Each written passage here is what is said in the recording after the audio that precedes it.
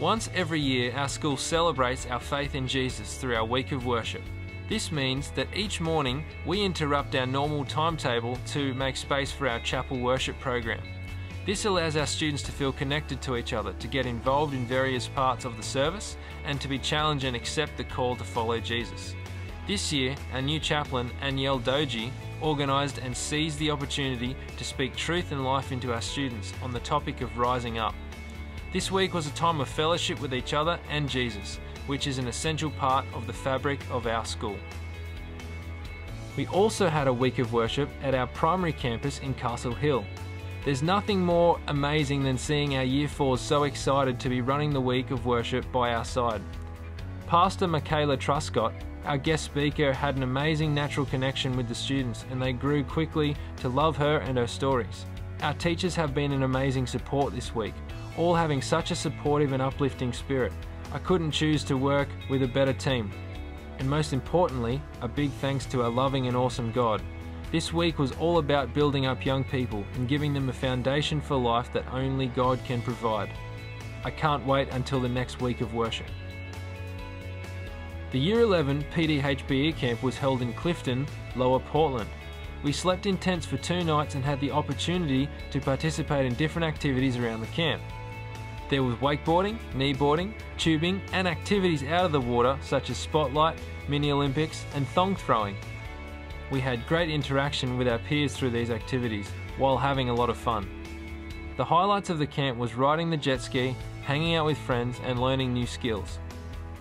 Each year, our school participates in the NAPLAN testing program which aims to give an accurate representation of our students' scholastic ability in comparison to the surrounding and local state schools.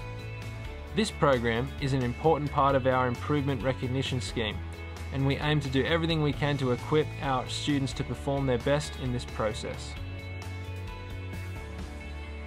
Following NAPLAN, our students from 7 to 11 completed their mid-year exams. Our MPC was almost completely full during these examinations. We see this as a good sign that our school is growing and thriving. We want to acknowledge the commitment and the diligence of our students and hope that the holiday break is a restful period for our students. Sydney Olympic Park is where we held our athletics carnival this year. We aim to achieve a first for Hills Adventist College by having a K-12 carnival all on the same day. Despite the hurdles of logistics, cold weather and rain, we as a school triumphed in a great day of sportsmanship, athletic achievement and school unity, which was a blessing to all in attendance. Students and parents alike were thrilled by the discovery that the Blues were training next door. A very special thanks to Mr. Parmenter, our head of sport, who was the brains and the brawn behind this momentous achievement. Last week, Year 9 had their Invictus Bonfire Night. This was the final event for the Term 2 network element of the Invictus program and was the culmination of all we have worked on throughout the term. Students rotated through four different activities that looked at ideas like empathy, character traits, personal strength, and teamwork. The evening concluded with a much enjoyed meal of pizza and soft drink. It was a good time had by all. We also had the official opening of our middle school block.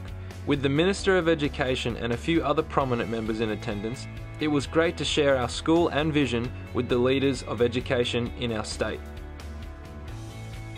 In weeks 9 and 10, our Year 7 and 8 students engaged in our annual STEM projects. In groups, students are faced with a real world problem that they need to design a solution to. Using teamwork, creativity, and available materials in the tech shed, students use skills from science, technology, engineering, and maths to solve these real world problems. That's it from us here at Hills Adventist College for Term 2. We hope that you have a restful and relaxing holiday break sharing quality time with your family and your friends. See you next term.